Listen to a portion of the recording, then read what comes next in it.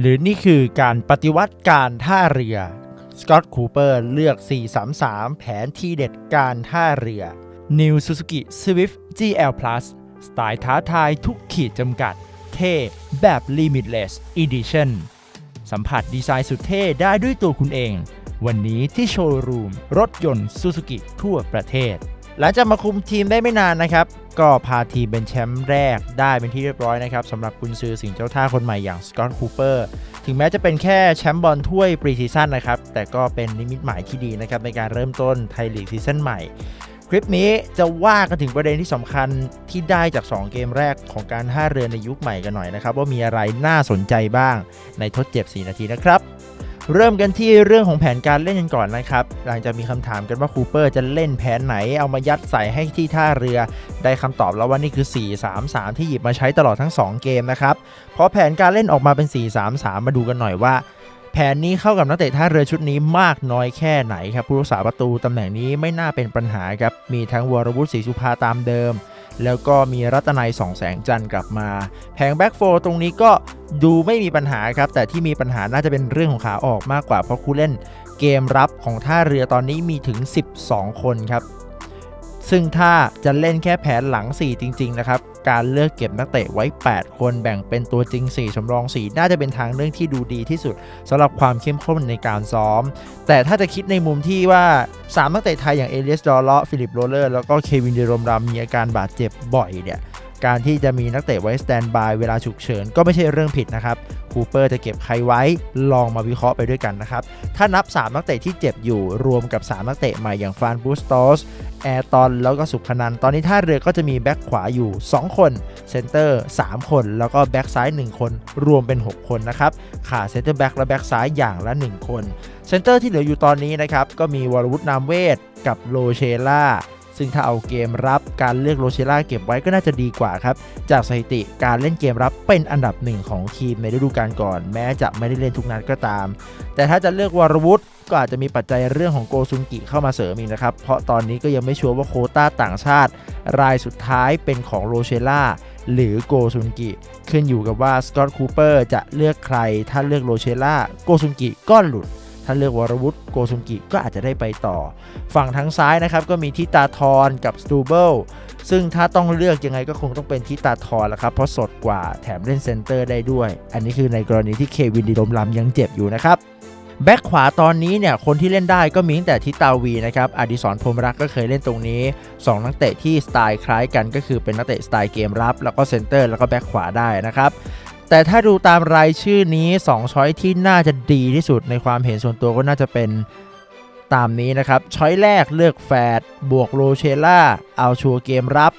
แล้วก็ให้คู่แฟดคอยหมุนตำแหน่งที่มีคนเจ็บ หรืออีก choice ก็คือเลือกแฟดบวกกับอดิศรพรหมรักษ์นะครับ เน้นความสารพัดตำแหน่งไปเลย วันไหนคูเปอร์อยากได้เซนเตอร์เท้าซ้ายก็ยังคงมีทิตาธรอักษรศรี วันไหนอยากส่งโรลเลอร์ เล่นปีกขวาก็ใส่ทิตาวีร์ หรืออดิศรเล่นแบ็คขวาก็ยังได้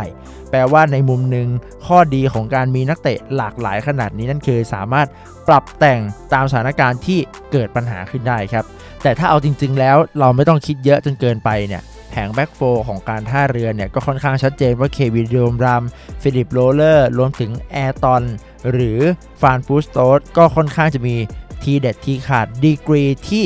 ขึ้นชื่อว่าน่าจะสามารถแย่งตัวจริงได้อย่างแน่นอนแล้วล่ะครับ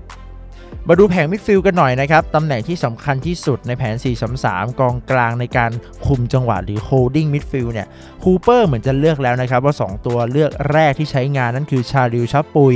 กับธนบูรณ์เกษารัตน์ดูเหมือน 2 คนนี้อาจจะได้กลับมาเฉิดฉายได้อีกครั้งหนึ่ง จากผลงานทั้ง 2 เกมได้เห็นทั้งคู่กลับมาเล่นเป็นตัว เอกอีกครั้งนะครับ ได้เห็นธนบูรณ์เล่นตำแหน่งที่สร้างชื่อ แล้วก็ชาริลชัปปุยส์ที่หายไปนานจนคิดว่าย้ายหรือเลิกเตะบอลไปแล้วเนี่ย ได้กลับมาเล่นอีกรอบ แล้วก็มีแอสซิสต์ให้แฮมิลตันและโชว์เกมรับบล็อกลูกยิงในกรอบเขตโทษสวยๆ ไป 2-3 ทีเลยทีเดียว แต่ในเรื่องดีที่เราได้เห็นทั้งคู่กลับมา ก็มีคนที่ได้รับผลกระทบครับ ทั้งสิทธาบุลล่าการรินถาวรศักดิ์ที่ต้องย้ายไป สรรเสริญลิ้มวัฒนะถูกปล่อยยืมไปอีก ส่วนคนที่ยังอยู่อย่างศิวกรจักขุประสาทจากตัวเลือกแรกกลายเป็นลำดับ 3 ไปโดยปริยายครับตำแหน่งกองกลางตัวบน 2 คนนะครับที่ทำหน้าที่เกมรุกกับ Box to Box ด้วยเนี่ยก็มีตั้งแต่วิลเลียมไวเดอร์เชอร์เซอร์จิโอซัวเรซณัฐวุฒิสมบัติโยธาโกซุนกิ แล้วก็เนเกบาปีกบราซิลคนใหม่ ที่ถูกคูเปอร์ทดลองในตำแหน่งนี้นะครับสามคนที่ดูโชคดีหลังเปลี่ยนมาเล่นแผนนี้ก็ดูเหมือนจะเป็นไวเดอร์เชอร์โกซุนกิณัฐวุฒิสมบัติโยธา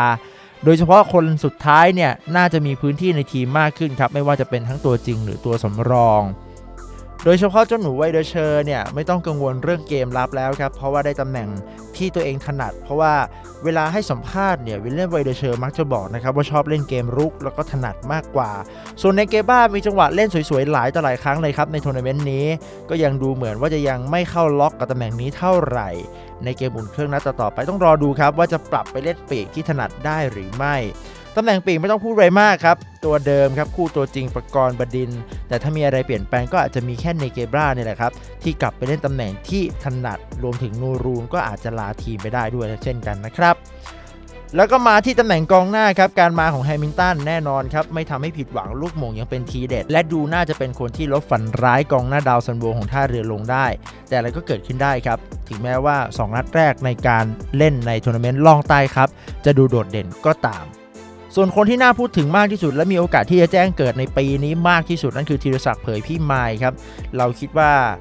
เพราะว่าเมื่อเจ้าตัวได้โอกาสในการ pre-season ก็ไม่ทำให้ผิดหวังนะครับ โชว์ของ 2 นัดทำไปถึง 2 ประตูกับอีก 1 แอสซิสต์เป็นฮีโร่พาทีมคว้าแชมป์ไปได้ ด้วยสไตล์ที่เป็นสายหาพื้นที่คอยเล่นกับกับดักล้ำหน้าได้ดีนะครับ ก็น่าจะเป็นตัวเลือกที่ให้คูเปอร์ได้เลือกใช้งานกับสลับแฮมิลตันได้อย่างยอดเยี่ยม เพิ่มความสดใหม่ให้กับการท่าเรือในยุคนี้ ท้ายที่สุดไม่มีใครรู้ครับว่าการท่าเรือ season นี้สุดท้ายแล้วจะไปได้ไกลแค่ไหนนะครับแต่อย่างน้อยการกล้าที่จะเปลี่ยนแปลงฉีกจากขนบเดิมๆอยู่บ้าง ก็เพิ่มความแปลกใหม่ให้กับการท่าเรือ จะให้ดีเหลือเพียงการเติมความกลมกล่อมให้กับสควอชชุดนี้ครับ เพื่อนๆ แฟนสิงห์เจ้าท่า แล้วก็ชาวตูดูบันไทยคิดเห็นอย่างไร เลื่อนมาพูดคุยกันได้ครับ และนี่คือทั้งหมดของทดเจ็บ 4 นาทีครับ